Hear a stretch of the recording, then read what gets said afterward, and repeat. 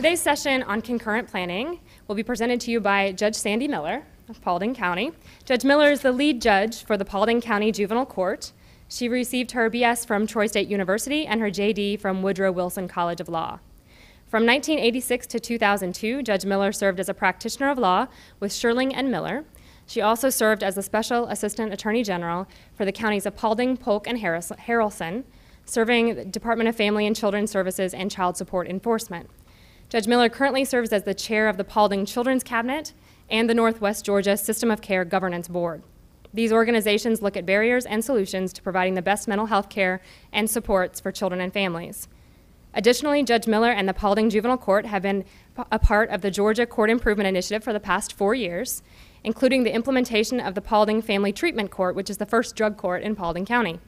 In 2002, the Paulding Juvenile Court was named to the National Model Court Project one of only 34 ma- national model courts across the nation and the only one that's in our state. So it's certainly a, a huge credit to Paulding County. Judge Miller was a founding member of the Paulding Child Advocacy Center and was instrumental in the development of the Paulding Child Abuse Protocol. She's a member of the Georgia Bar Association, the Paulding Judicial Circuit Bar Association, the Georgia Alliance for Drug Endangered Children, and the National Association of Drug Court Professionals. And Judge Miller, who obviously all of those credentials stand alone, has brought with her a whole panel of co presenters on this topic. So if you'll bear with me, we'll go through each uh, introductions for each. And I'll ask that you maybe raise your hand so everyone knows which, who we're referring to, because I'll just go in order. Angie Chandler, with Paulding County DFACS Permanency Supervisor. Angie has worked with the Community Service Board as a case manager working with adults and families impacted by mental health issues from 1992 to 2000. In 2000, she joined DFACS in the investigations unit. She then worked with the diversion program and ultimately started supervising this program. Angie has been supervising for the past six years, with the last three years supervising permanency. She is also an adoptive parent to a child who was formerly in foster care. So she speaks it personally and professionally. Barbara Burnley, Paulding County DFACS County Director. Barbara began working with DFACS in 1983 and has worked in various programs, including investigations, permanency, which was formerly foster care, resource development, and the adoption unit. She became a supervisor in 1994 and has supervised all of those units as well permanency, adoptions, and child protective services. Barbara became the services administrator and has held that position for four years until becoming the county director three years ago. Turning to the remaining panelists, um, Amy Mobley, to my left, has worked with the Division of Family and Children Services for 17 years. She worked 11 years in foster care, child protective services, and a county training coordinator, and six years in education and training for the Professional Excellence Program. And to her left is Julie York. Julie York is a project director for Education and Training Services section for the Division of Family and Children Services. Uh, ETS, that training section, is responsible for training all child welfare services staff and Office of Family Independent staff statewide. Ms. York has worked for DFACS for nine years, and before her work there, she worked for Maternal and Child Health nonprofit organization for five years in Atlanta. Julie earned her bachelor's degree in social work from Auburn University and her master's degree in social work from the University of Georgia. So once again, we tried to deliver some really well-qualified um, professionals and experts in this field to talk to you today, and I hope that you'll join me in welcoming our visiting scholars in practice to present to you today about concurrent planning.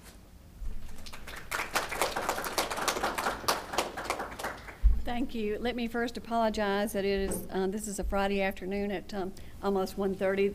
Everybody says that I'm the one that picked the time and date, but I don't remember doing that, but they said I did. So I apologize that we're here on a Friday afternoon. Um, I want to thank, um, thank you for allowing us to come and, and participate in this um, particular process and to talk to you about concurrent planning, something that you'll see in a few minutes that we are all very passionate about. I want to also give a special thanks to um, to all of the team members.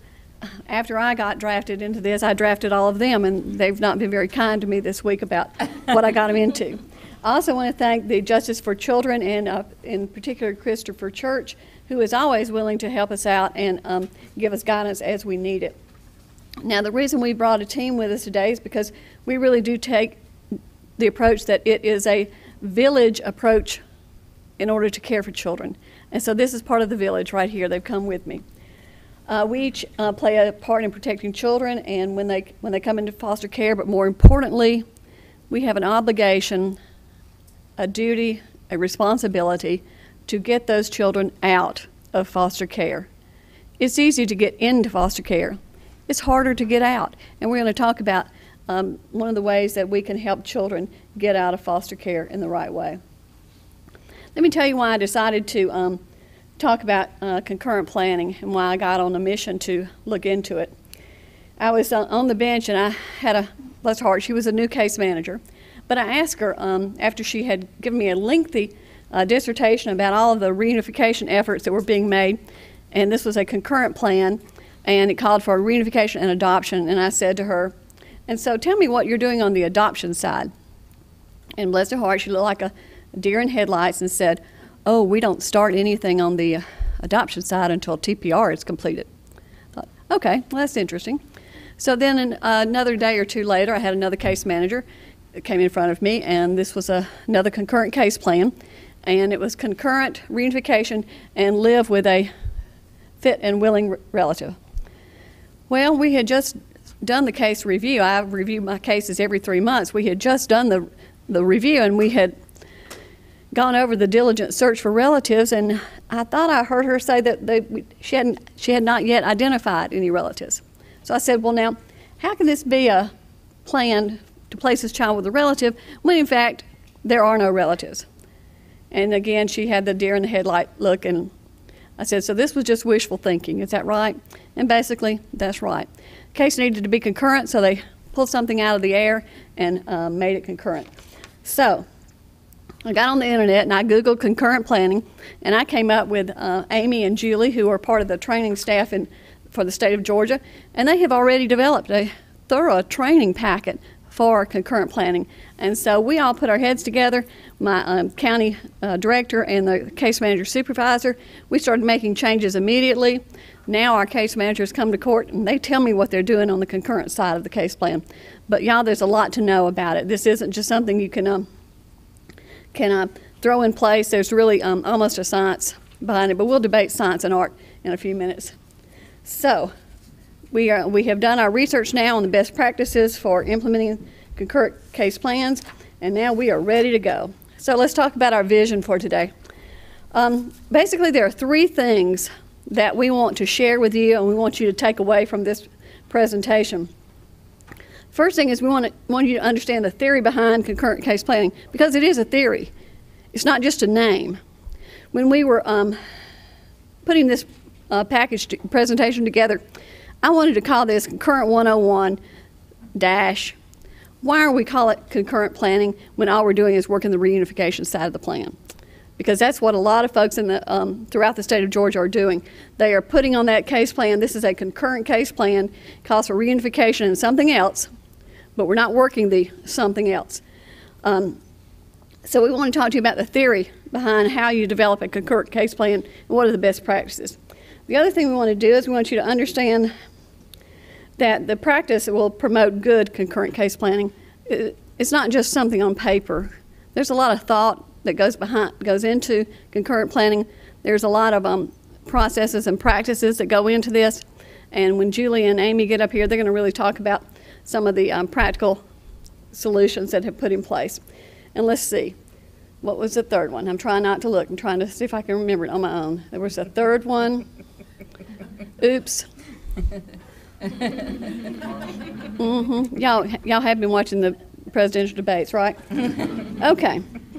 The third one is we want you to understand what, where Georgia is today and, re, and with respect to current planning and where we need to go. I can tell you exactly where we are. We are not where we need to be and but we'll tell you where we're going to go in a little bit. So hang on, and we'll get there. I'm going to talk to you a little bit about foundational matters and also about concurrent planning nationally.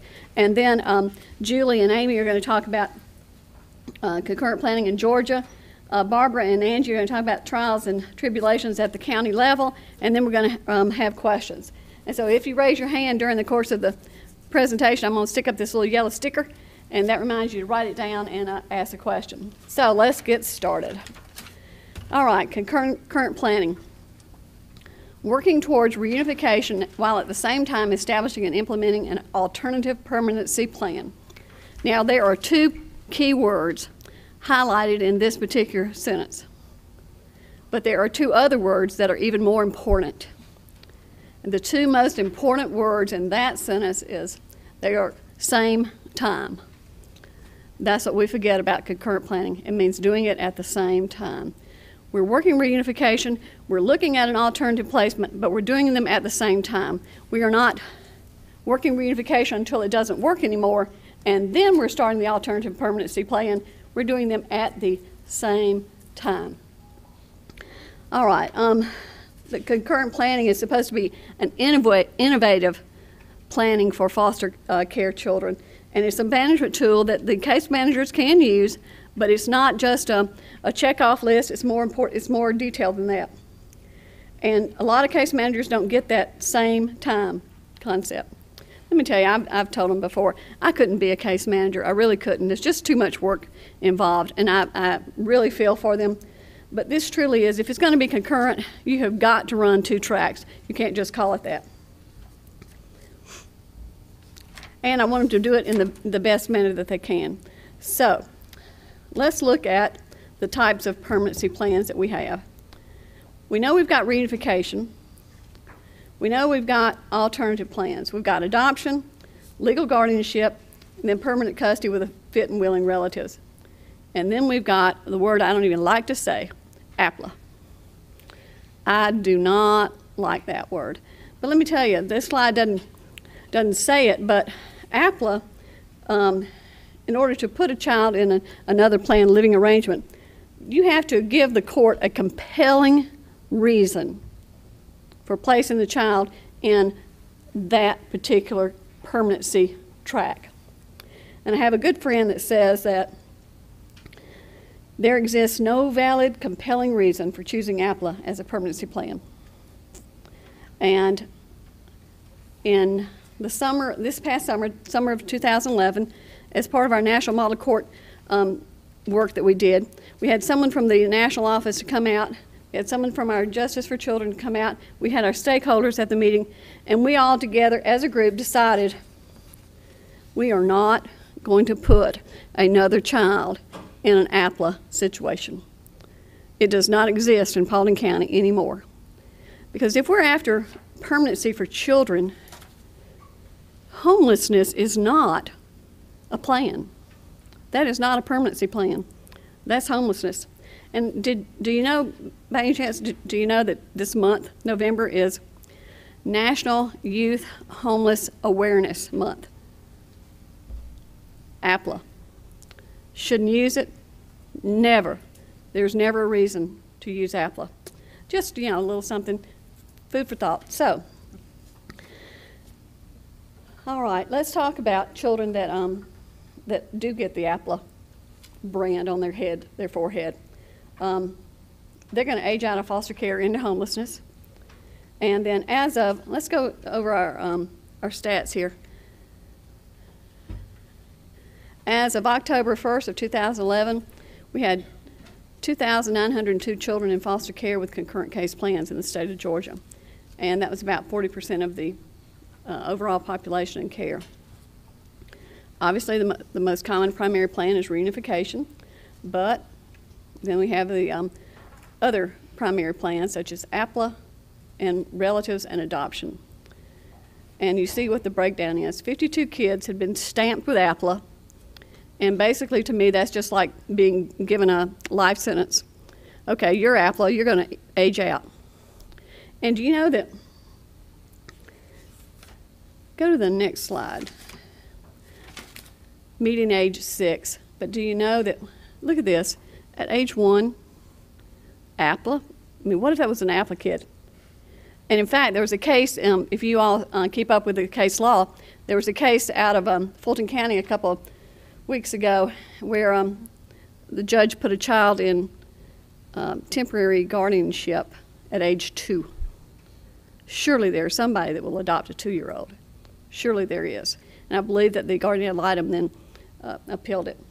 But when I was looking at some of the research, I, I really did. I saw a four year old child with APLA case plan, another planned living arrangement. Four year old children can be adopted.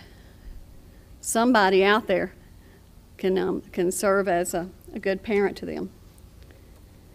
Now, we know that, um, if you'll go back, if you'll back up to the, all right, so make sure I got all of that. So children from 4 to 18 are included in this, um, this list of uh, data.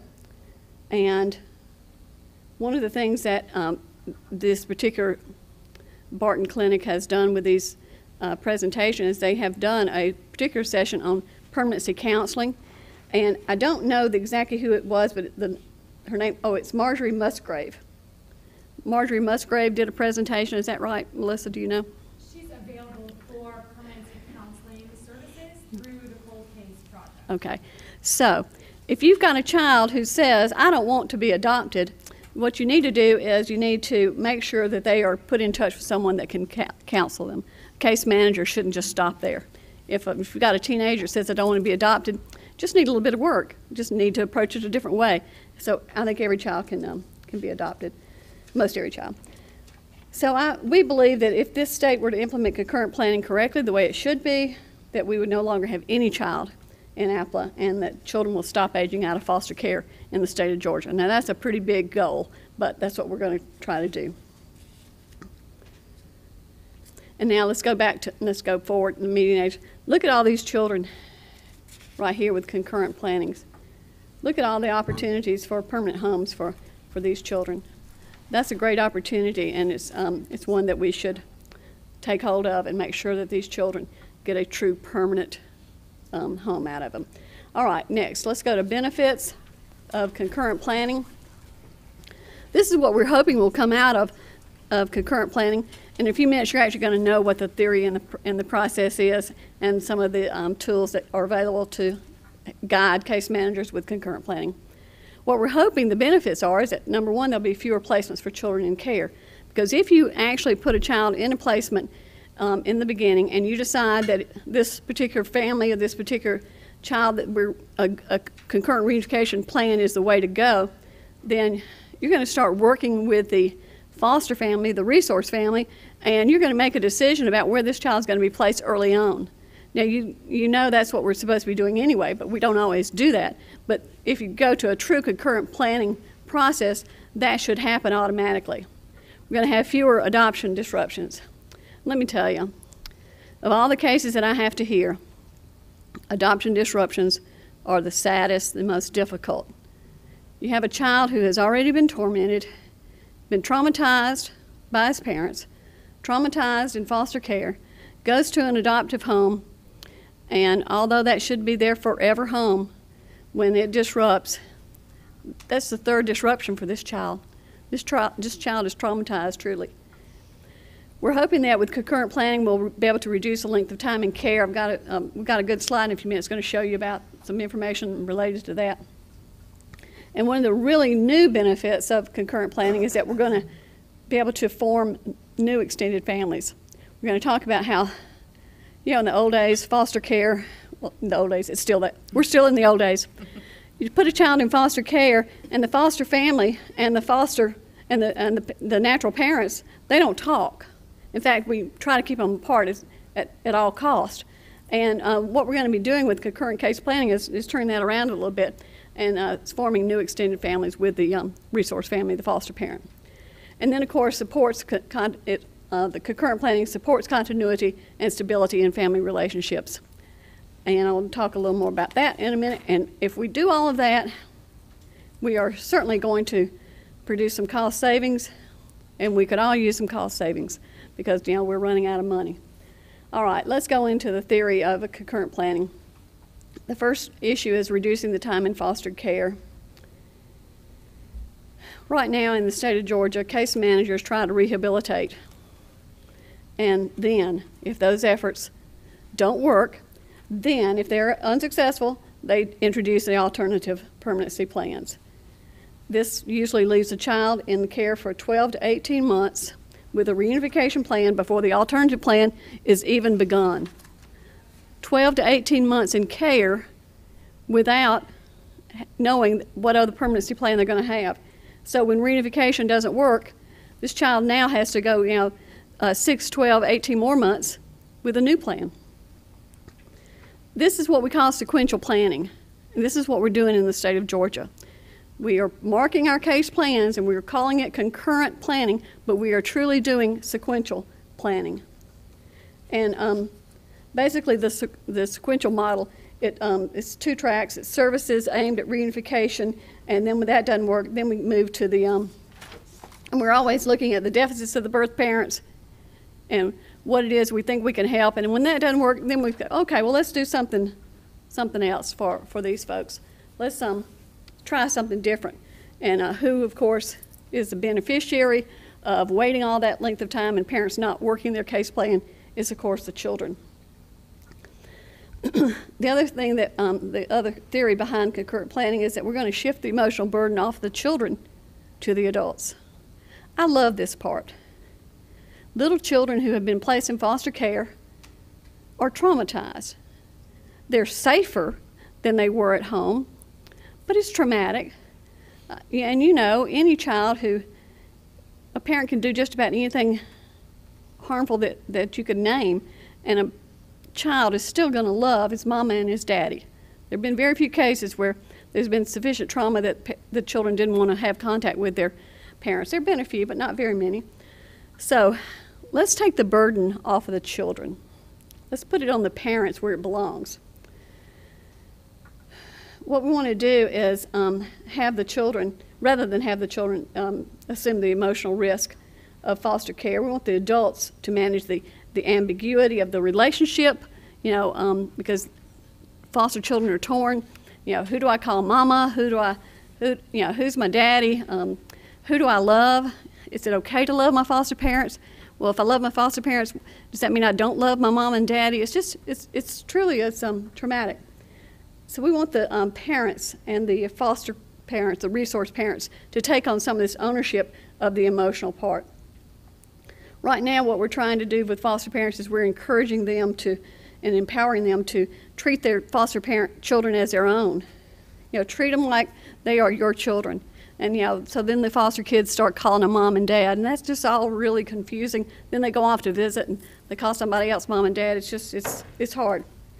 Um, while the bond between the children and the foster parents was, is strengthening in a reunification case plan, it is obvious that the bond between the foster child and the natural parents is being damaged or weakened.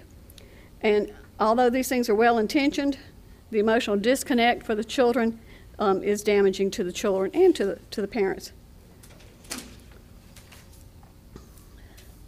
Um, basically, what we have when children are in foster care is parents, their parenting abilities are limited to the time in which the children are visiting with them. That's the only time they really can show off their parenting skills or lack of parenting skills is during those um, those scheduled visits. And sometimes the um, foster parents get to sign a, a form saying, "Well, yeah, well, we can go out of the children can go out of state." And other than that, there's just not a whole lot of um, parenting responsibility on the foster, on, excuse me, on the biological parents while the child is in foster care. So, the old track system it's sort of like having a parent and a child going to the same place, reunification, but on different trains. So we've got two trains going down the track, and um, think about it: if you were on one of these um, one of these railroad cars, you're you're part of a group traveling to the same destination, but you're on separate trains, running on parallel tracks. So you have no opportunity to communicate with the rest of your party except during stops or breaks, visits, and um, your group's interaction is really strictly limited to a brief encounter or an interlude at rest stops. What would your relationship with your group look like if this went on for 12 to 15 months? What if that was your journey? 12 to 15 months, and the only have, time you have contact is um, occasional visits. The child, and relationship, the child relationship and the connectedness suffers as a result of being on these two tracks during the entire 12 to 15 month journey. And that's not, that's not acceptable. We're not going to allow it to happen. And then the bad part is that um, when you finally get to the same destination, if it is reunification, then the children have to reestablish a bond with their parents. So if we went 12 to 18 months, very little contact with parents other than at visitation, but it's a reunification case plan concurrent with something else. We work the reunification plan, and we finally get the child and the parent back together. Then we've got additional time where the child is still um, has this emotional disconnect to the parents, and that has to be fixed. So if you'll remember the definition of concurrent planning, it means providing family reunification efforts while simultaneously, same time, developing a permanent parenting plan for the child. And concurrent planning exemplifies the best practice. It's, um, the values are based on the child being child-focused, family-centered, and culturally competent. And of those of you that um, deal with mental health issues, we hear those terms all the time. If you're going to write a grant for something, you've got to make sure that your program is based on, uh, it's child focused, it's family centered, and culturally competent. And we believe uh, concurrent planning is, in fact, that. So, what exactly do we want to happen? What we want to do, what I want to do, is I want to start looking at how and why a case manager makes a decision to develop a case, a concurrent case plan, and what she, what she's used to make that decision because you can't make that in a vacuum. Then what we need to be doing is following some national best practices that will move us forward in finalizing the statewide training that we've already got developed. It just needs to be spread out across the, the state. We want to train all the case managers, but we don't want to just send them to a, a classroom like this and say, okay, now here's the training for concurrent planning. You're going to do this, this, this, and this now. Go and do it. This is so serious. What we need to have is someone from the training office to come and actually work with case managers to help them make these decisions. Um, and that is the only way a person is really going to get trained accurately in um, concurrent planning. And you know, case managers are overwhelmed. Um, do we have any case managers in here? Just no. Okay. Well, I'll just tell you, case managers are overwhelmed, and we don't want them to say, "Oh my gosh, there's somebody talking about concurrent planning." When that come down, when that comes down the pike, we're going to have all of this work to do. Now, this is just good social work, just plain old social work 101. Everybody should be doing this um, and making these decisions every single time there's a, a family in, uh, in foster care. So we want the case managers to become familiar with the principles, and we want the guardian ad litems, parent attorneys, the SAGs, the Special Assistant Attorney Generals, to be familiar with the total process and understand the process and not just say the words concurrent planning. I can tell you this, when I was a SAG, for Paulding and Haralson and Polk. That was back in the day when we had 150 kids in care. And um, boy, when they told me they wanted a plan to be concurrent, I thought, oh, yeah, yeah, that just means I'm going to have to work a little harder because now y'all are going to throw that word out there and it's going to be um, adoption, and the parents aren't going to consent to anything from this point forward because now they think you want to have their children adopted right out from under them. You're going to make my job harder. I hated that word. I hated concurrent. But back then we did the same thing. We called it concurrent, but we were still working a sequential plan. So, all right, now let's talk about some um, some of the current practices that the national level has. The um, let me tell you how we got into sequential planning. This is how it started.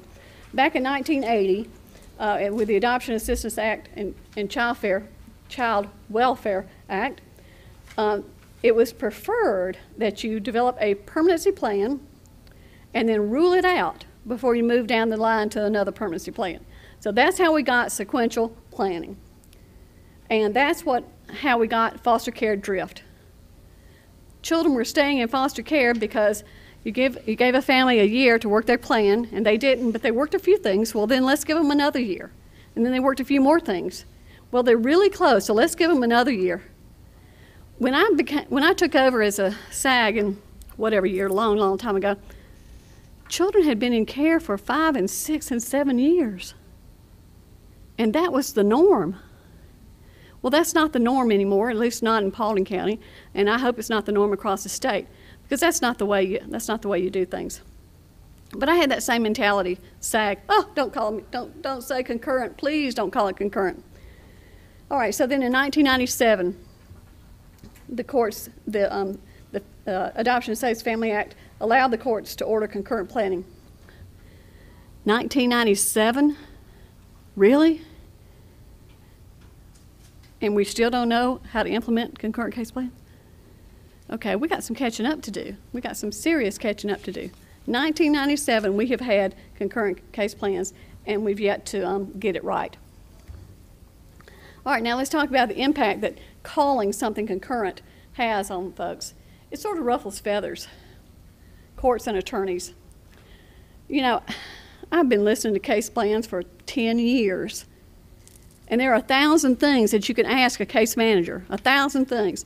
So I decided, I just asked about this concurrent planning, but not every judge out there is asking about it. So it's going to take training judges, and no, tr- judges don't like training. Well, we do. We have fun when we go to, for training. But, um, yeah, this is going to be a new concept. Oh my gosh, we're changing things. Oh. Anyway, but attorneys, they're going to be the same way. Oh, you can't. I've got one of my parent attorneys right here. You can't call this adoption. We've only been at this for six months. You can't go to a concurrent case plan and call this adoption. These parents haven't even had a chance to work their case plan. I can hear it now. That's okay. When we get it right, when we do it the right way, you're going to love it. All right, then the provider community. Do you know that some of the providers with the state, you cannot begin an action with that provider until the TPR is filed? It's not the way to do business. Local case managers, um, they don't want the tension. Once you say adoption, you know, you just lost your best bud. Uh, the case managers and the parents are not going to get along once you throw the word adoption out there, unless you do it the right way. And then, of course, foster parents and the relatives, asking them to sign up for the role of Plan B. Well, we're going to talk more about Plan B, of these alternative plans. Uh, foster parents, some of them have their own agenda. Many of them are there strictly for the children. And when Barbara and Angie get up, you're going to hear about some of our wonderful foster parents in our county, some of our few little foster parents that can handle this. Not all foster parents can handle knowing that a child is coming into your home, that you're going to be working a concurrent case plan, and they might not be able to have this child because reunification is going to work out. And they're going to work with the parent to make sure reunification works out. That's sort of working against their own, that's a conflict of interest, is what we would call that. So that's going to be interesting to see how that works out. Now, let me just show you what's happened once the feds, you know, back in 1997, the feds said we're going to do concurrent planning, and so now the uh, now they're recognizing, oops, we got problems. They're not implemented on a consistent basis when appropriate. Some states have formal, excellent concurrent plan policies, but it doesn't filter down to the to the local level, and there's no evidence of true concurrent planning. And in a number of states, Georgia, concurrent goals were written in the case files, but case reviews showed the efforts toward the goals were sequential rather than concurrent, and that's where we still are. All right, and research on non-reunification. Uh, this is funny. This little baby, I've we've been working on this presentation for a while. I feel just like this little baby. Um, the, the more I think about things, the more confused I get. And um, so we've had all of our emphasis on uh, researching of non-reunification. You know, here are all the the exceptions to when you can uh, have a non-reunification case plan. All of these factors are are laid out for us by the statute. These are the easy cases.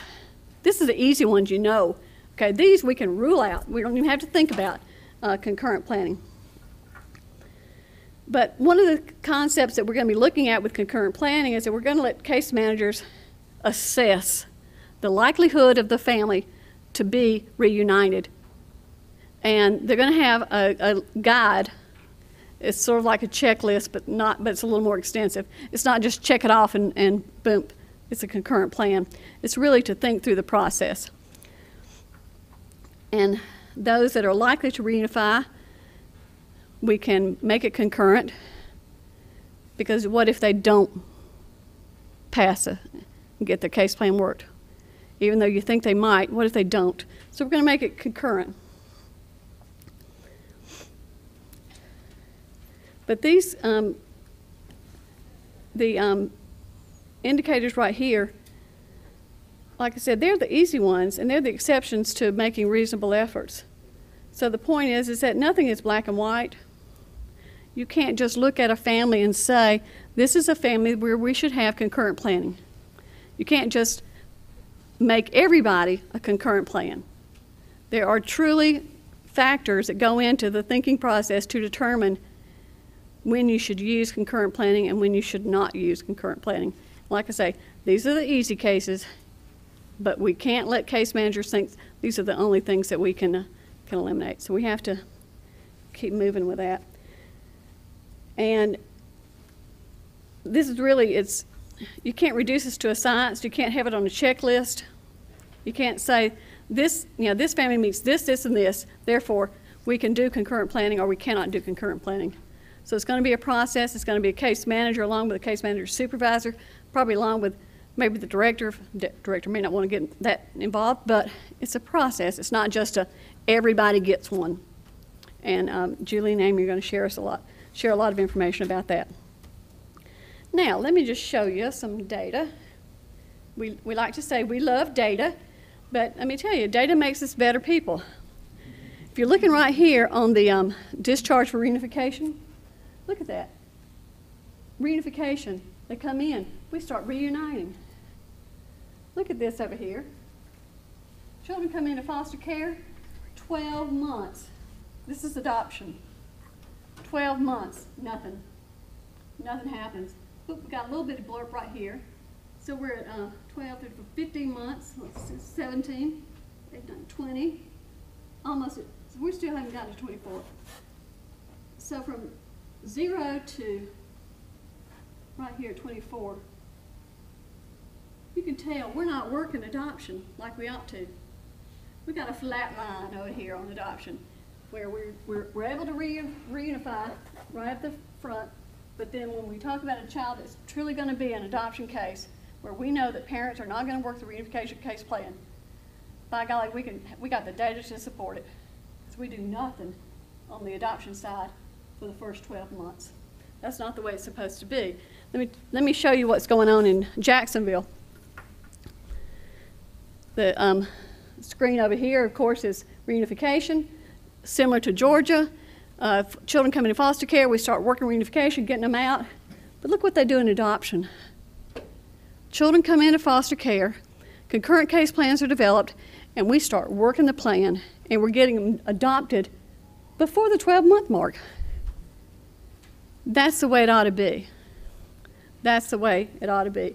And so, if you really follow the, the theory, the practice, the science, the art of concurrent planning, then you are changing the outcomes, the permanency outcomes for children in a, a much faster timeline. All right, so we're going to take a break right here, and we've been at it almost an hour, not quite. Uh, so we're going to take a break, and then we will uh, finish up with Julie and Amy and Barbara and Angie, and they're going to be talking about how to implement concurrent planning. So thank you.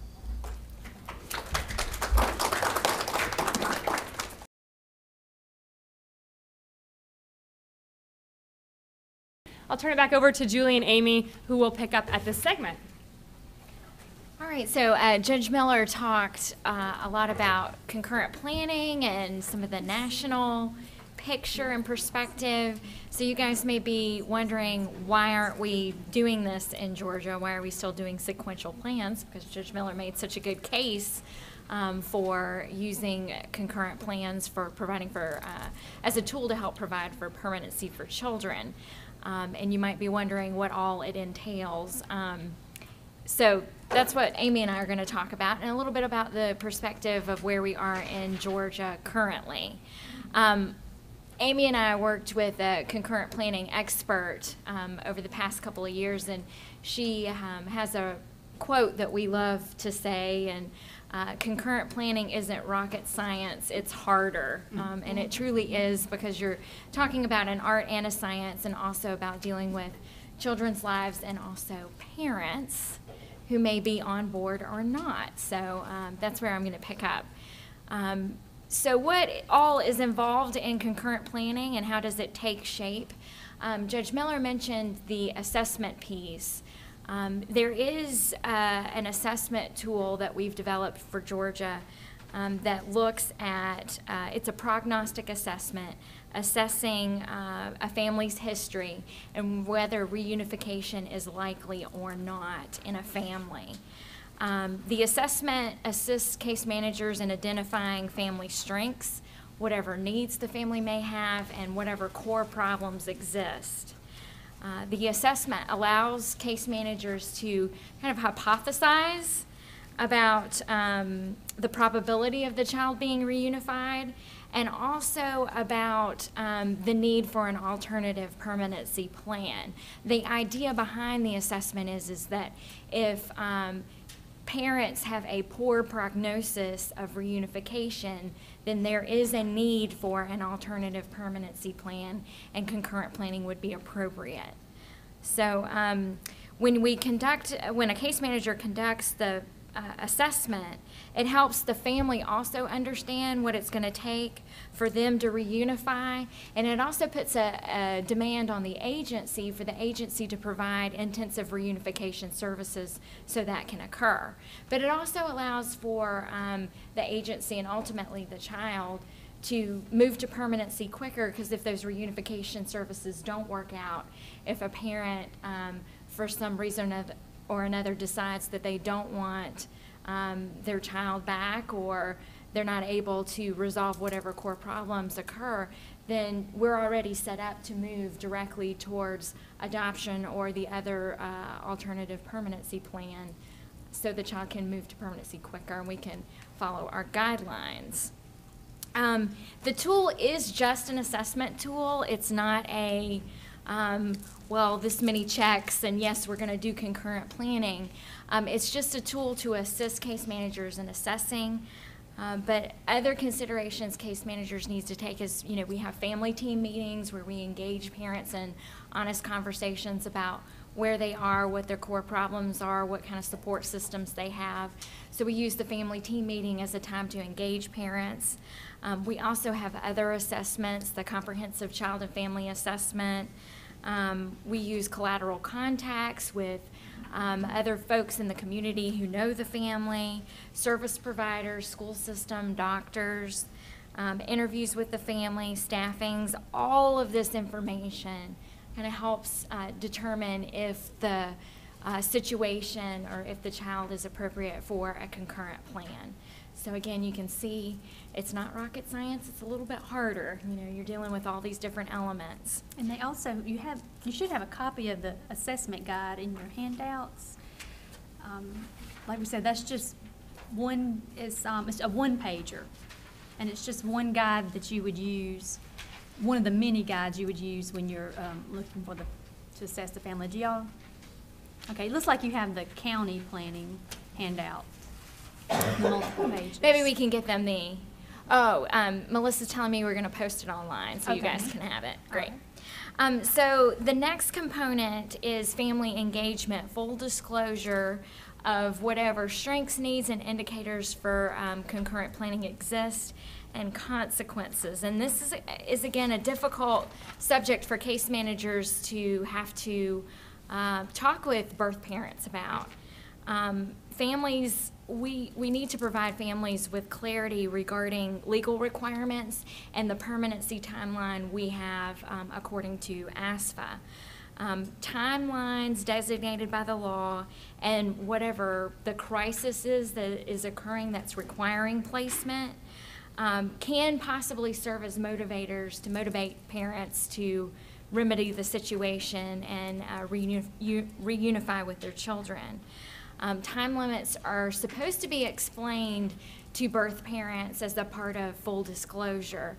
Um, you know, uh, Judge Miller was mentioning practice from years ago, and I'm not sure how upfront we used to be to, with parents. Um, I doubt we were very upfront with parents about what timelines they face um, and what timelines we face, but that's something we encourage case managers to be upfront about. You know, what this process entails and what the timelines are and what's going to occur and what the consequences are. Um, families need to understand the timetables also because Judge Miller's also said several times, any placement outside of a birth family is traumatic to a child. I can't even imagine, um, you know, my nine-year-old going to another family and what that would do to her. And parents need to understand that. Um, there's a lot of research behind that. Um, and any move is a traumatic move for a child. So um, parents need to understand that as well. Um, diligent search, it's early and ongoing aggressive search of relatives. um, looking at both sides of parents. Um, traditionally, we've focused on maternal uh, relatives, and we need to know who the daddy is and who his family is. Those are options as well. Um, often, case managers tend to kind of wait to see who's coming out of the woodworks, who's going to take care of this child. Do I have a taker? Do I have a taker? Not really assessing is that a viable option. One example we give is, um, you know, uh, an 82 year old grandmother taking care of a one year old. Is that a real viable permanent solution? Um, may- maybe, maybe not. It just depends, and that's something that case managers need to look at instead of just the first relative that comes forward. Um, usually, we do a good job of looking for relatives within the first 30 days, and we kind of just see what we have. Um, but um, we're trying to emphasize ongoing, aggressive, diligent search efforts so that you can find the most viable option for a permanency plan for a child who may or may not reunify with their parents. Um, firm timelines for permanency. Um, next slide, I think. Um, we always have to continually assess where we are in the process with birth parents um, as far as them uh, resolving whatever issues occurred. Um, we emphasize reviewing case plans every three months. Judge Miller says she does that in her practice. Um, at the ninth month period, um, that's when we really need to assess. I mean, we're doing this all along, but we need to assess if the birth parent isn't making progress and let them know, okay, we're in the ninth month, the 12th month is coming. We um, have been working that other plan, but we're really going to look at that other plan now um, because of whatever circumstances that you're not able to uh, finish your case plan and resolve those issues that brought the child into care in the first place. Um, if the birth parent's making progress, we just continue to monitor and support. Um, the whole goal is to have the child in a permanent placement, whether either reunification or adoption or those other uh, permanency options by the 12th month so we can follow our uh, federally required guidelines. Um, I talked a little bit about full disclosure to parents. You might be saying, what is that? Um, and which parents are you talking about? Are you talking about foster resource parents or are you talking about birth parents? I'm talking about both. Um, and it's a very hard conversation to have. But um, in the research that we've done and looking at other states who really do a good job with concurrent planning, um, it is a difficult conversation. But in being honest with birth parents, I think case managers have experienced being able to resolve those cases a whole lot quicker. Um, sometimes parents say, I cannot parent this child anymore. That is okay. Um, that actually helps us get towards a permanency plan quicker if they say, you know, I can't do this anymore. It's almost easier than a parent who just does the bare minimum to keep the plan going. Um, so we just we need to be honest with uh, birth parents uh, regarding their rights and responsibilities, what services the agency is required to provide in order to reunify the family, uh, permanency and parenting options, as well as consequences for not following the plan. Um, so uh, some other things we want to talk about uh, birth parents, we want to let them know is we want to let them know the agency's roles and responsibilities to the child and, and those time frames. Also, they need to know uh, what caused the placement um, in their opinion, but also um, the official placement cause on the agency side as well. Um, they need to know what resources are available to assist them. They also, again, need to know that placement is traumatic for a child. Um, and children still need to be connected with their families. Um, Judge Miller also mentioned the visitation issue. Um, I'm going to go ahead and talk about that next. Um, traditionally, the agency DFACS has just said, all right, we're going to do one visit a week, twice a month, um, with no rhyme or reason as to why that frequency. Um, research shows that uh, those decisions regarding visitation really need to be made on based on the age of the child and any needs that the child has. Um, for you all who are parents, if you have a newborn, could you imagine what kind of parental bond you would have if you saw that newborn once a month? You're not going to have one. Um, you know, toddlers need daily interaction with their birth parents, and this is, you know, the visitation schedule is not meant to be a punishment or you can't see your children only at this time. It's just meant to provide structure. Um, that visitation schedule is, or the visitation is crucial to providing uh, efforts to be made for reunification services, and it really does need to be based on the age of the child. Um, the resource parents also need to know what is going on, the foster parents. Um, they need to know um, a thorough description of the child, the circumstances, um, background information, why the child is appropriate for concurrent planning. This is when you have to re-emphasize to resource parents, foster parents, that there's no guarantee that the child is going to remain with them, um, despite what any initial assessment says.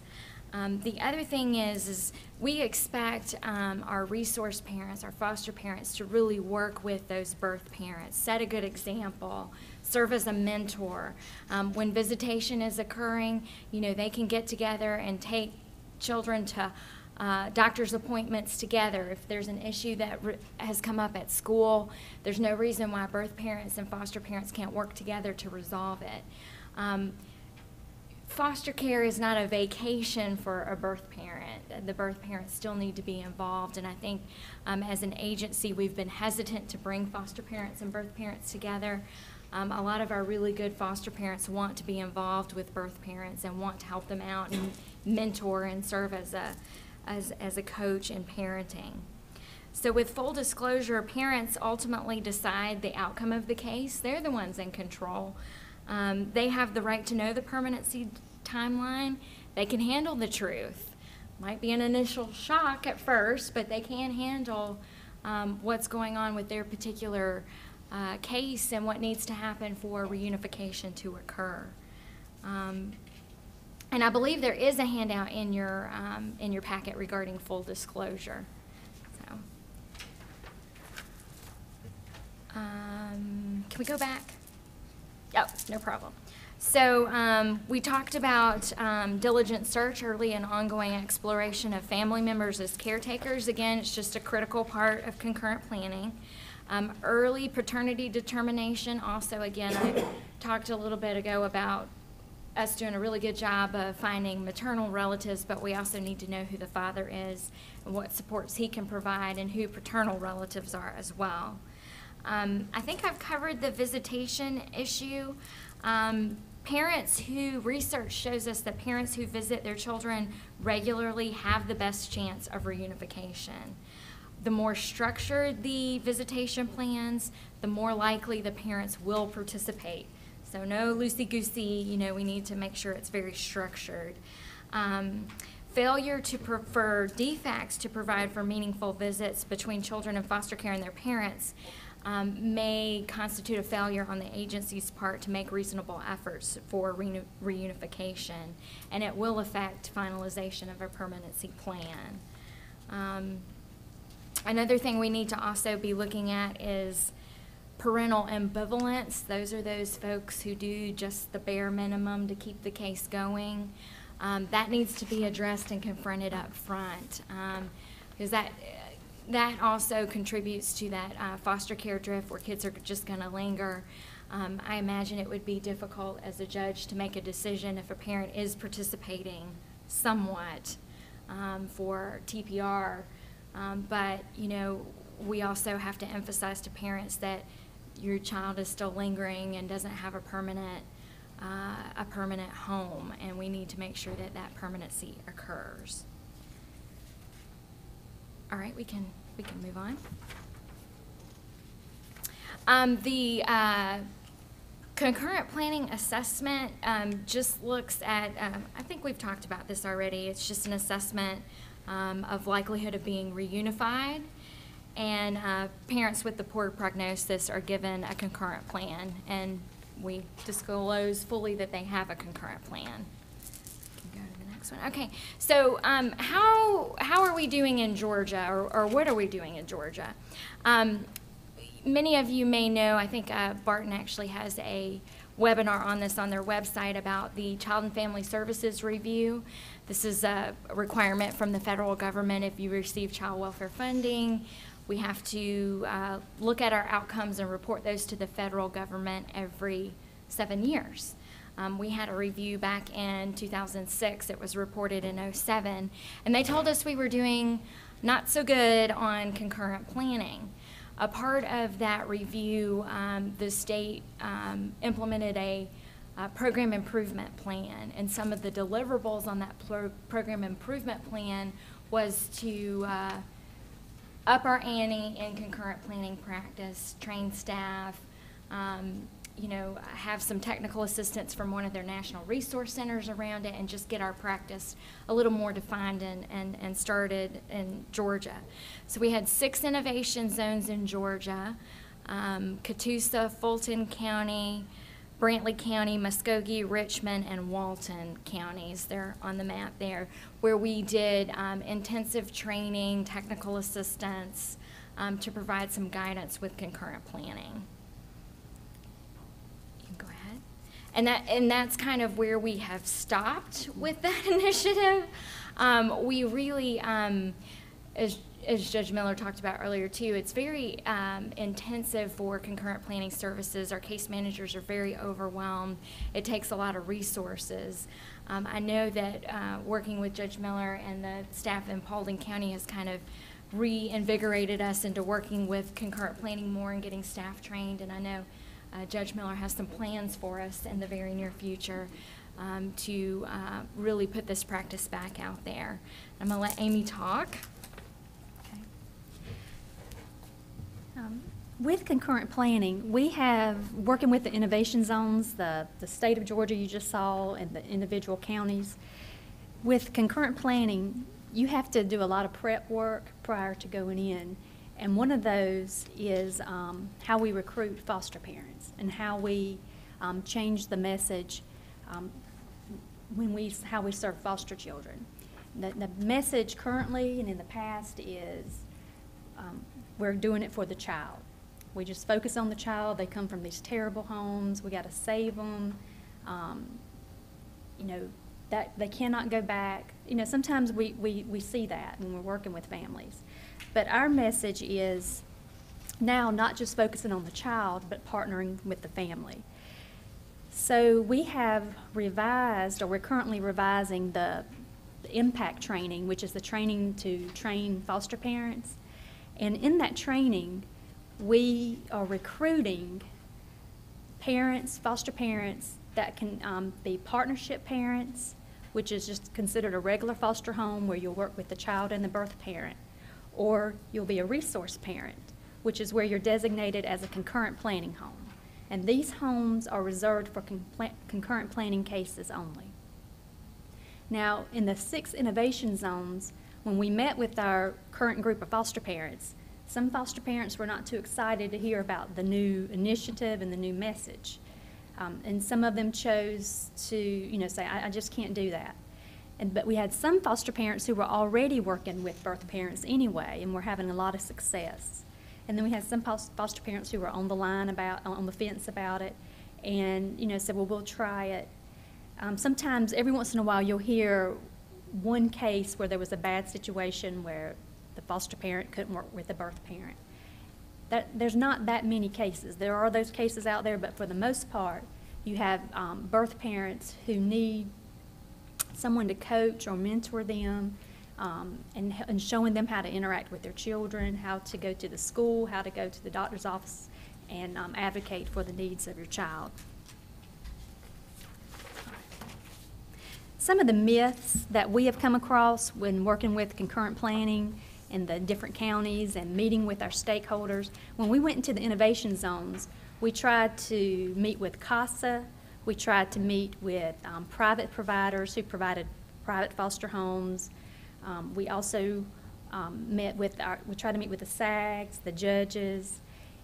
Um, anyone who was involved with that child's life or who would be potentially involved in a foster care case, just to try to um, help them understand what concurrent planning was. And one of the myths that we often heard was concurrent planning is just a fast track to termination of parental rights and will set, birth parents up for failure. Um, concurrent planning, like Julie said earlier, is um, you have full disclosure and you're setting firm timelines with the parent that hold you as an agency accountable and the parent accountable. And in when we were um, in, uh, trying to implement concurrent planning in the innovation zones, we had come up with a permanency orientation meeting where the, in the first few days, the case manager explains to a parent all the different options there are for um, permanency. There's adoption, and they would go into explaining what adoption was, what um, guardianship meant, what permanent custody with a relative meant. Because sometimes we as an agency get so used to these permanency tracks that we forget it's like a foreign language to a parent. And sometimes you have to keep telling them that over and over and explaining to them. So the permanency orientation was to help parents realize what their options were. And also, it's not a fast track because the birth parent um, and the foster parent, we are encouraging them to work together in a concurrent plan. And even um, on regular reunification cases with the partnership parents.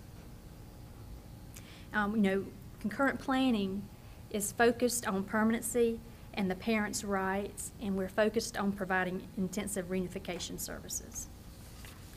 The next myth is that concurrent planning will cause case managers to give up on birth parents too quickly or to not sincerely work on reunification efforts. And the um, concurrent planning, again, requires that the case manager, the birth parent, the um, partnership parent, or the resource parent work together and that they're each accountable to each other. They're constantly meeting, trying to, you know, see how we can uh, meet our time frames, how we can get these services in place so that the parent can be successful. And again, the case manager understands that in, in permanency planning, you have to have, show reasonable efforts that you've captured or that you've tried to help reunify that child with the parent. The next myth is that concurrent planning just means having a backup plan. You don't actually have to do anything on the plan. Um, and again, the true concurrent planning model emphasizes that you cannot do sequential planning, that you most, must implement both plans at the same time. It's not just, you know, having a plan on paper, it's about actively working both plans. The next myth is you can do concurrent planning anytime during the life of a case. And concurrent planning requires you that you assess each case in the beginning to see if it needs a concurrent plan. And not every case will um, need a concurrent plan. And it also requires that if you choose a concurrent plan, that you need to implement it within the third, first 90 days or three months. If you wait until the six to nine month period, then you're already reverted back to sequential planning. The next myth is when DFACS implements concurrent planning, every child in foster care will have a concurrent plan. And just working in those six innovation zones, it was a challenge to even work one or two concurrent plans. So if everyone was to go to concurrent planning in every case, um, I, I don't know how we could do it. It would have to be baby steps. Whenever you're implementing something this big, you have to start off small. And most states who have tried to implement concurrent planning have not been successful, and they usually revert back to sequential planning. Um, they often do not have enough resources. Concurrent planning is resource intensive. And the next myth is resource parents will sabotage the reunification efforts because they just want to adopt. And this speaks to recruitment. Again, often with DFACS, uh, we often recruit out of desperation.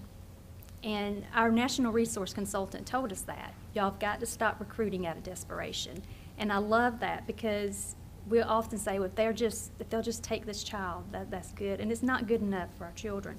We want foster care to be seen as a privilege to take care of these children who come to us who need a temporary placement. So when, in your recruiting, it, it does take time to recruit the right partnership parents and resource parents. And you have to have clear expectations uh, about what to expect in a concurrent planning case. And you also have to provide support, which is a, a huge need for our current group of foster parents who deal with a variety of different children and needs. And then when you bring that concurrent planning element in there, you have to provide for that support. The case manager needs to know how to support that, that resource parent. All right, turn it over to you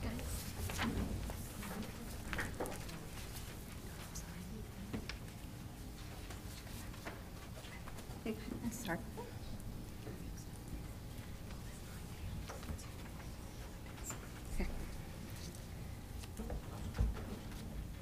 Okay, we are going to talk about how you do all this work at the county level. So if you want to go ahead, the next one. I'm going to share with you some staff challenges. First of all, every DFACS across the state, not just Paulding County, but it has affected Paulding County, has lost staff.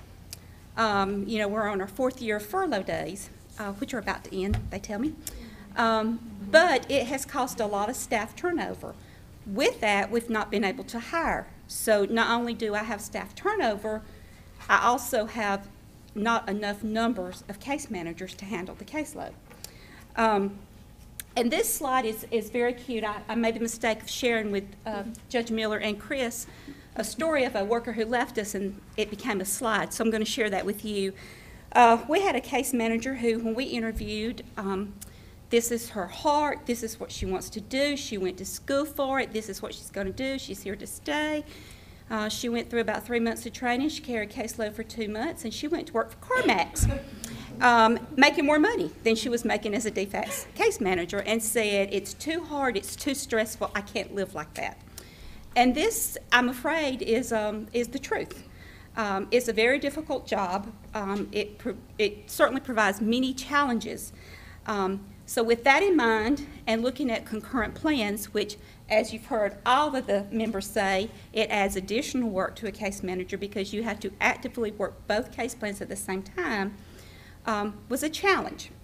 And so, in our county, we did the county assessment that's in your packet. Um, the administrator myself did it. We looked at what we have, what we don't have, what we need, what's working, what's not working.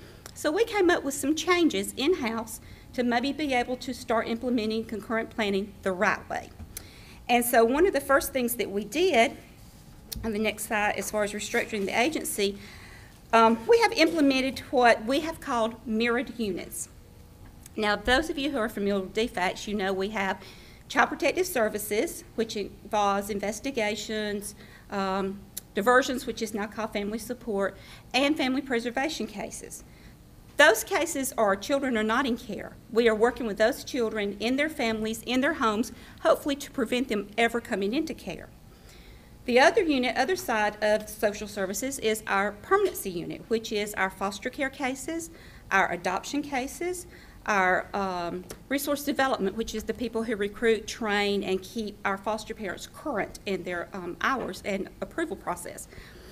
So what we decided was, in staff turnover, you attorneys out there know how many times you've been in court and say, the case manager says, I just got this case last week.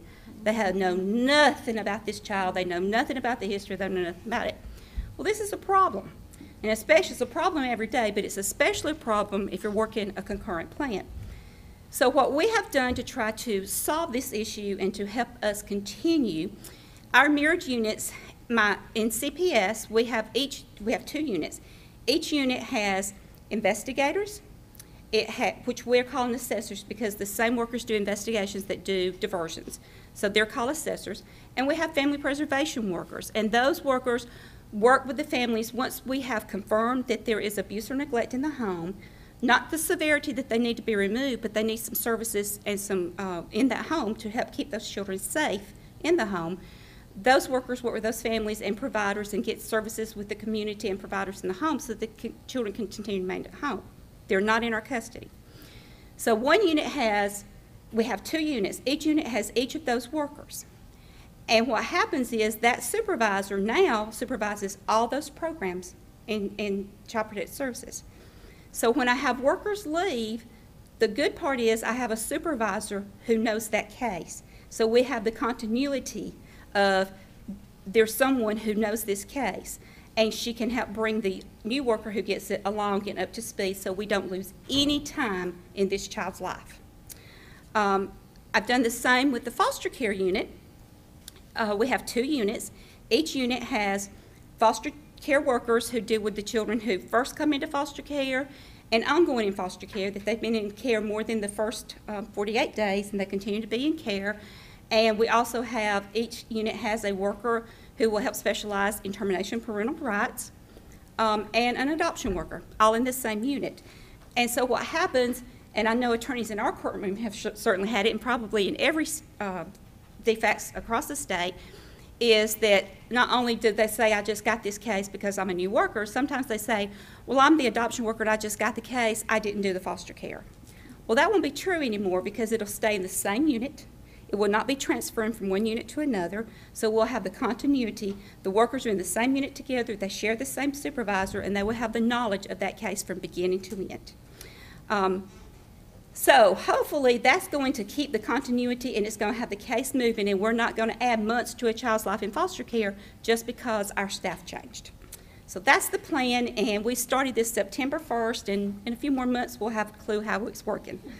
Um, and, and I had said that the thing that kind of helped staff morale was that the supervisors this time were the ones who had to learn a new program, not the case managers.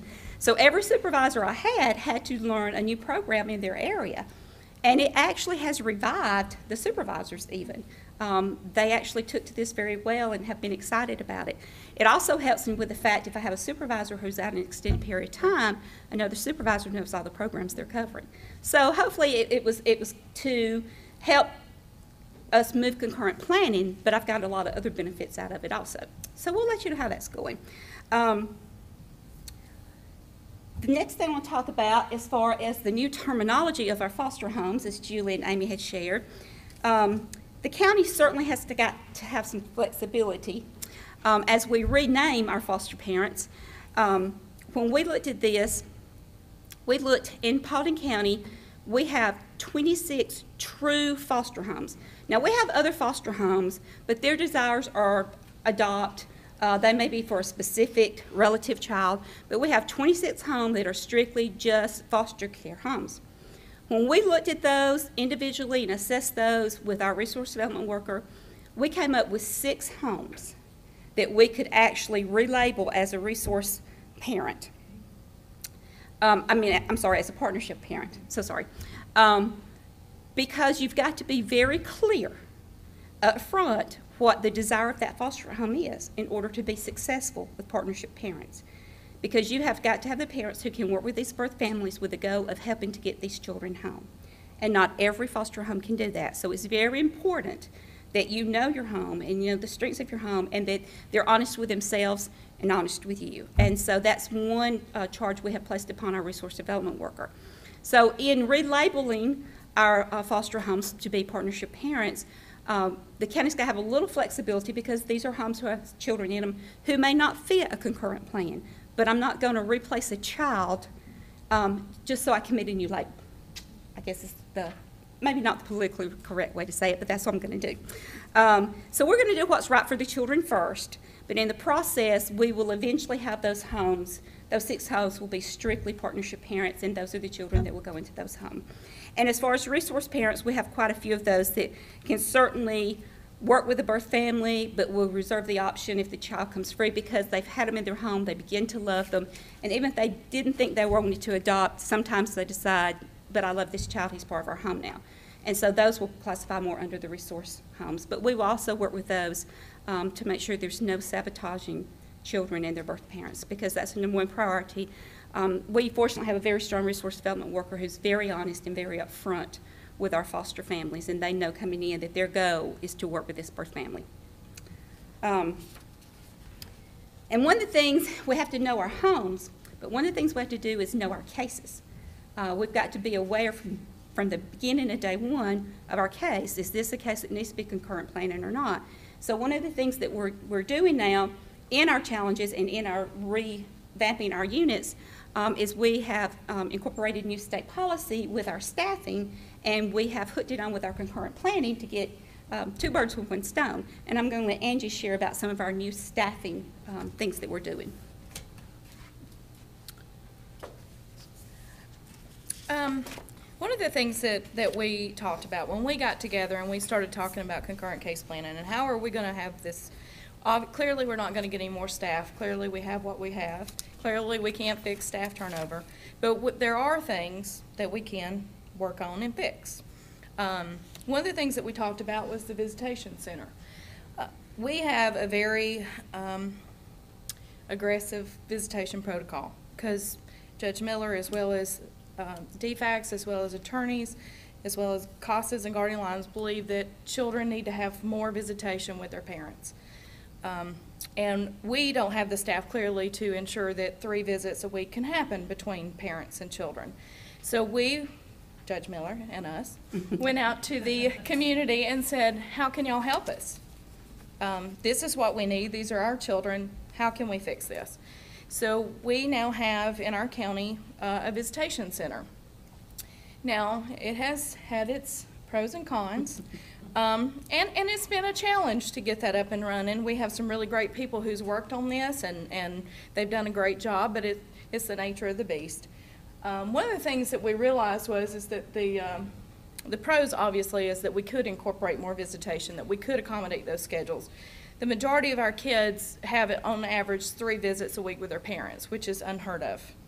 Um, the con to that was, is what we had noticed was, is that caseworkers were losing contact with their families. They were not, they, because we have uh, volunteers who supervise those visits, they were not there and not seeing the interaction between the kids and the parents. And because of that, um, you know, we started losing some of that observation that's really important in order to determine when concurrent case planning needs to occur, when that change needs to happen. So one of the things that we took back to the county i- to try to fix this is, is we've now asked that our caseworkers observe at least one visit per month with their family and children. Um, so we're hoping that as we move forward with that, that the, the issue with the visitation center, that, that issue will, will be fixed. Another thing that we looked at was, is on the reunification side, when the biggest complaint that we have with parents was, is you give me a resource list, you give me a case plan, and you want me to go to twelve different providers to do twelve different things, and they all coincide with each other, and they're all so expensive, and I don't have the resources for that. So we sat down as a community and talked to uh, one of our providers and said, okay, how can we fix this? This is our problem. How can we fix it?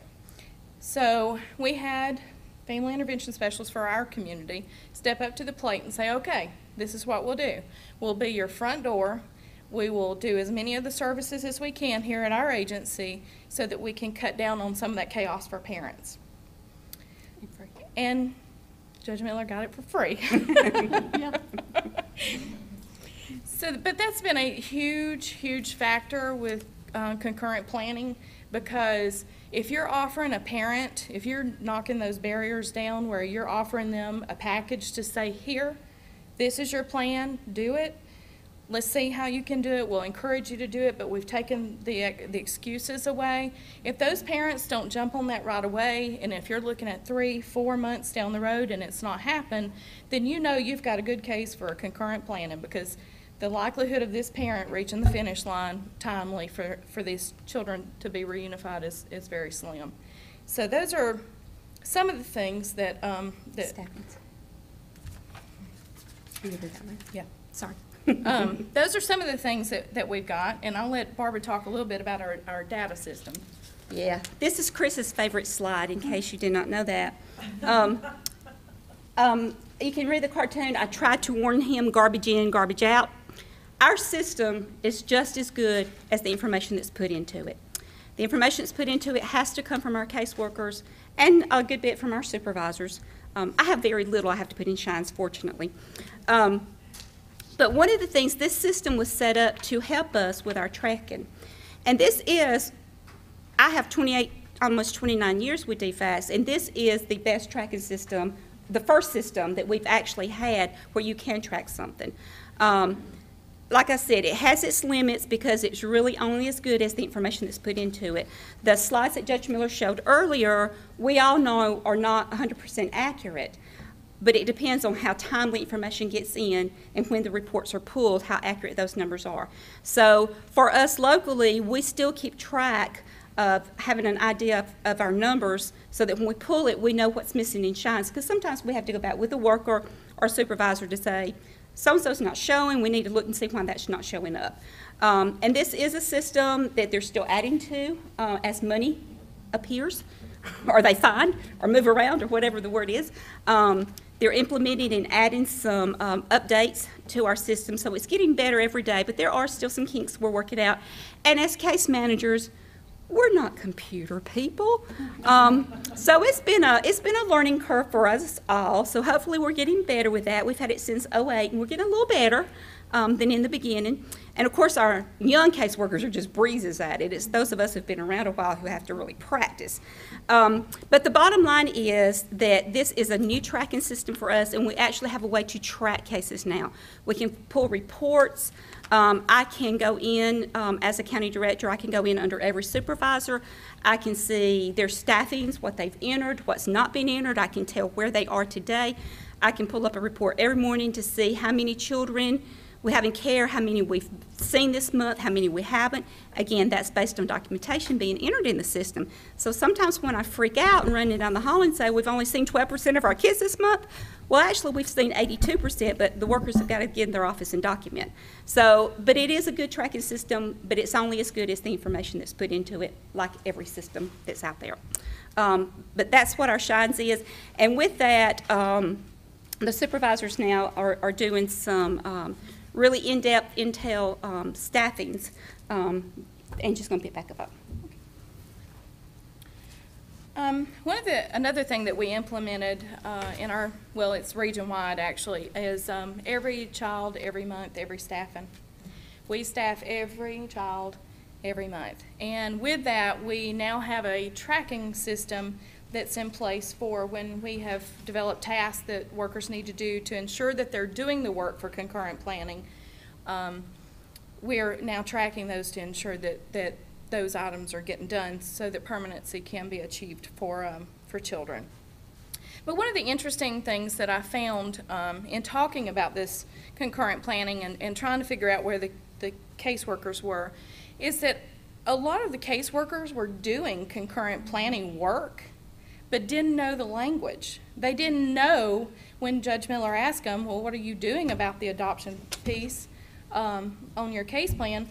They didn't know that simply talking about that to a foster parent to see if they were willing to be an adoptive resource or talking to a therapist about are you is this child ready for adoption can you start working on that process with them they didn't realize that that's what we were asking it was like a foreign language in court, but when I sit down one on one and start talking about it and actually start asking the questions without putting the terminology there, it's like I'm getting this great feedback. So I found that to be to be very interesting, and it certainly was giving me an opportunity to know how to better educate in staffings the workers to know how to further on what they're already doing, but also how to present that in court and also to present that to parents and to um, foster parents.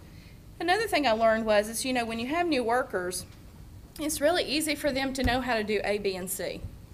You get a child in care, you get them in a placement, you do the shine stuff, you do the paperwork, you, you know, make sure you staff the case. But I don't think that they ever really, that's as far as their knowledge went. Because without that seasoned worker who's ever worked a case from beginning to end, they don't understand that everything we do from the beginning has an impact on the end. And that's actually what brought up the, the slide here is, is um, I don't know if any of you has ever played billiards or pool, but you know, the old saying is, is that if you play pool and you can think two shots ahead, then you're a good pool player. But if you can think three shots ahead, you're a great pool player. And that's kind of where I have to get my staff, is try to teach them how to be those three shots ahead thinkers so that concurrent case plan works and permanency happens sooner for these kids.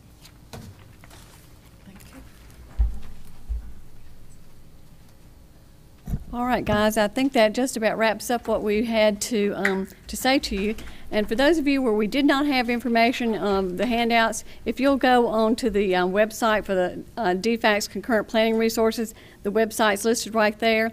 You can find the parent participation handbook and, um, some of the, I think, like, if you look around in the appendixes, like page 33, 34, 35, that sort of thing, there, uh, it's all in there. And you can, um, there's a ton of information out on the World Wide Web for you um, regarding concurrent planning. So, thank you for allowing us to come. And now we're going to open it up for questions. So, question. Oh, yeah, if you'll bring them up here. Okay. Uh, This actually isn't a question. I just wanted to make sure that everybody knew that there are also 20 CASAs in the state of Georgia who have been trained as permanency counselors. We were talking about that earlier. So if you need to use one of them, either contact the Committee on Justice for Children or you can contact um, Jen King at the state CASA office. Thank you. Questions or other comments? Margaret?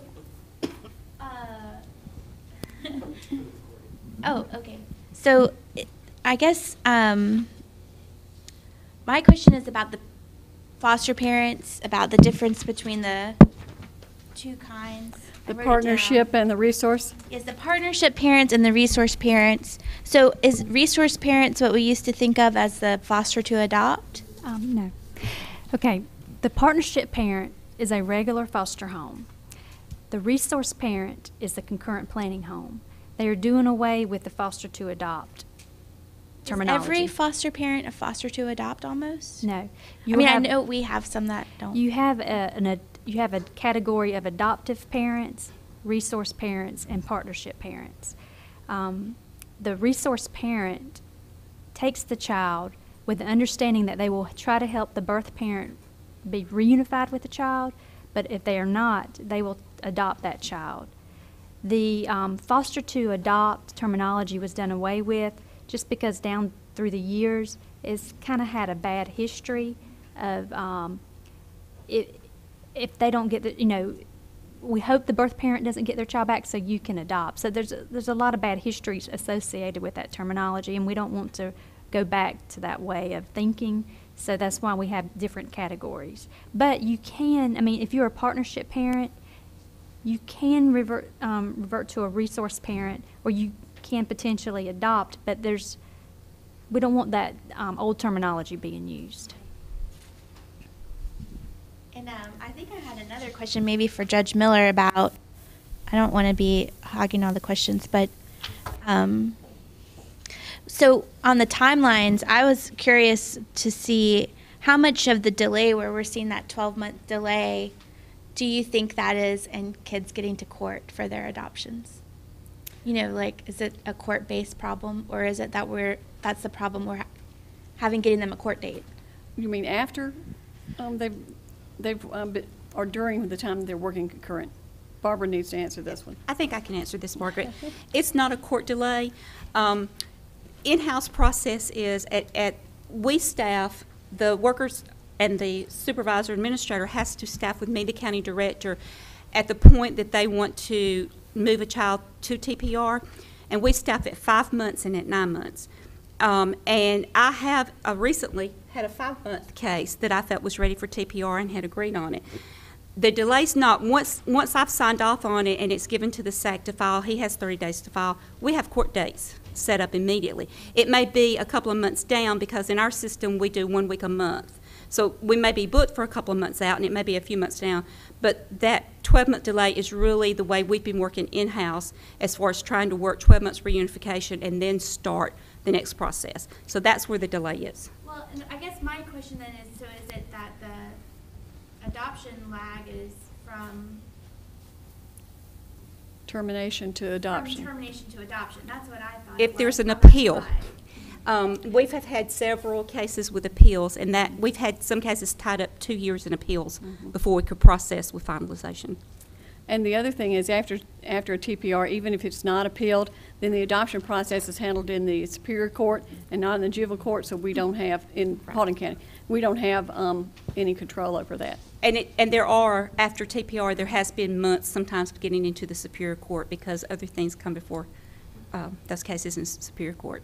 And I, I don't know if we um, emphasize this too. A tenet of concurrent planning is making sure that um, that very first placement you're placing in a resource uh, parent home, so that there's not um, a delay in getting a child to a home that is willing to adopt. That you know, if it's a um, a family that just wants to uh, be foster parents to a child, um, we you know we want them to just be with the foster kids who don't have concurrent plans. So that's another, that can cause a delay as well. Other questions? Yes, Can you make some recommendations of best practices for parent attorneys in the concurrent planning context?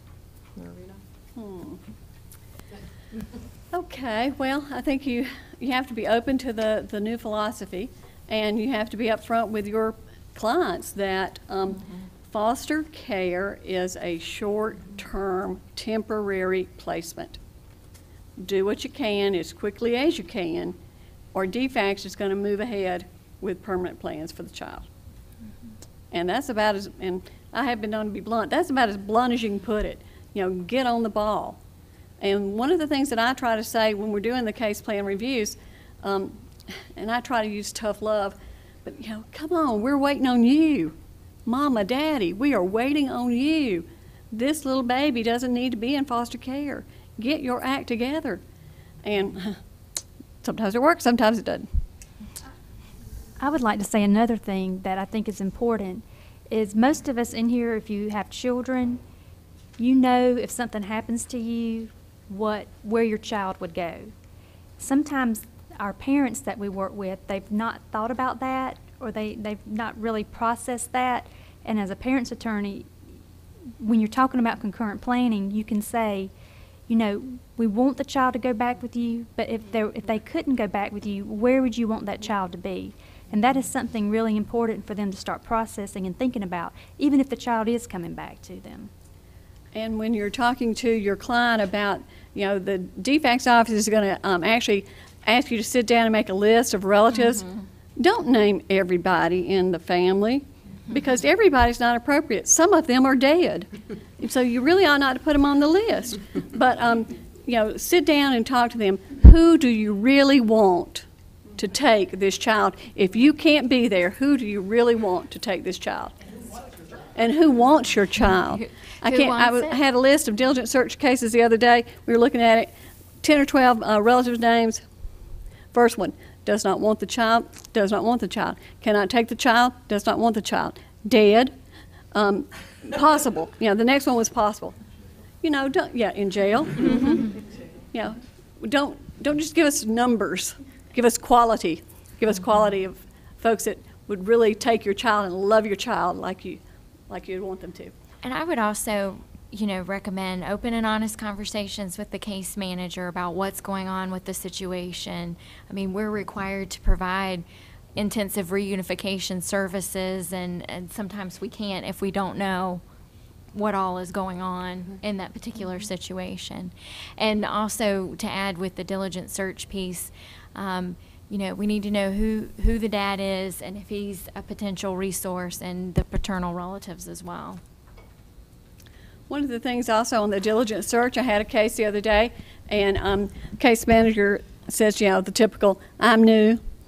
Well, you know, I'm sorry, but in my courtroom, that doesn't get them very far. And um, I'm new. I don't really care whether you're new. I don't care if you started this morning. If you're here in court and you're representing the department, you better know your case. And so she was telling me that the diligent search was done by the case manager before her. I thought, well, great. So you have no interest in this. You have no obligation to continue a diligent search. Uh-uh. You go back to the office and have your diligent search updated by, before you come back to see me. And they come every three months. We, we, we go through this every three months. We talk about these cases, how the parents doing, how the children are doing. every three months. It's no surprise when we get to termination at nine months, at 12 months. No one is surprised. Um, This question is for the folks from the state office. Um, I know that the law now requires that when a diligent search is done, the department is also required by law to send notice out to everybody identified in that search who has a relationship with the child, um, uh, that the child is coming into foster care and what the, what the person could do and that they'll lose the opportunity uh, to be a placement for the child if they don't respond and how to become a foster parent and the financial incentives for doing so or the, what, what they may, you know, be able to get to, to assist. I shouldn't say incentives, but assistance to do so. Is that being done anywhere in the state? Pauline, tell them about it. It's done in Paulding County, I can assure you. Um, Judge Miller certainly holds um, our agency accountable. Um, And, you know, I I jokingly sometimes say that being a DFACS worker is hard, but being a DFACS worker for Judge Miller is even harder. Um, My workers work very much, but it assures quality. And our, our children and our families are receiving services that you're not necessarily receiving throughout the state, but it's because of her expectation and her requirements of us. Um, but we move children. You know, foster care is not right for any child. Every child deserves more than foster care. Um, and so they're not going to grow old in foster care, and especially not in Paulding County.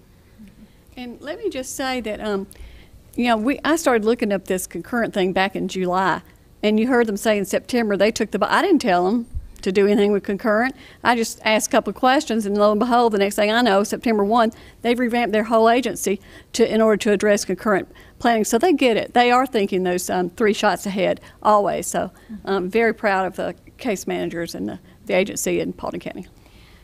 The, the practice varies from county to county. Everybody wishes they had a Judge Miller in their county.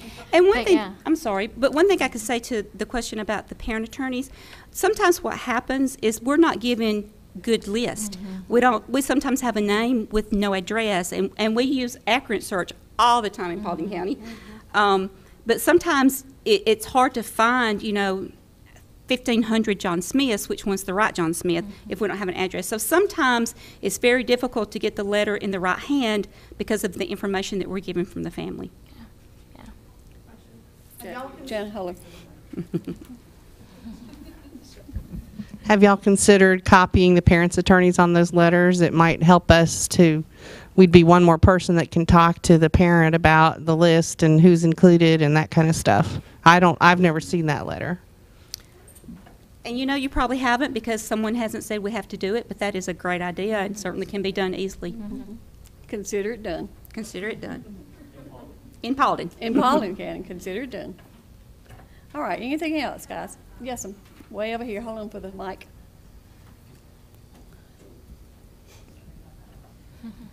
I'm a, a CASA volunteer, and um, I'm getting the pushback that it's too much work concurrent.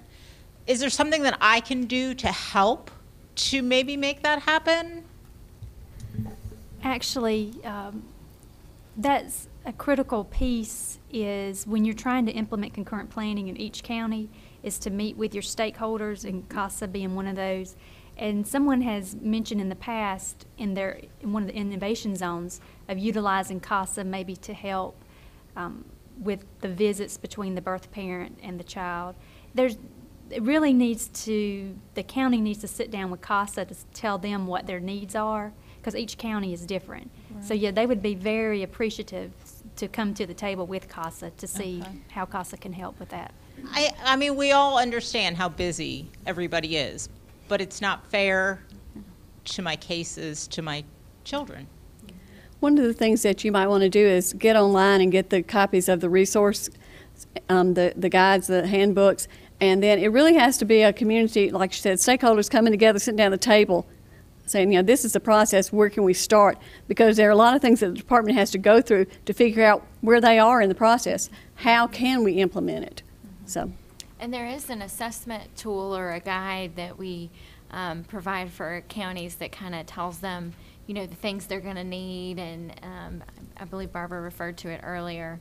Um, so it kind of gives some guidance. And um, Amy and myself. We have uh, a couple of other folks who are available for technical assistance and help. That's what we've, Judge Miller has um, volunteered us, voluntold us for.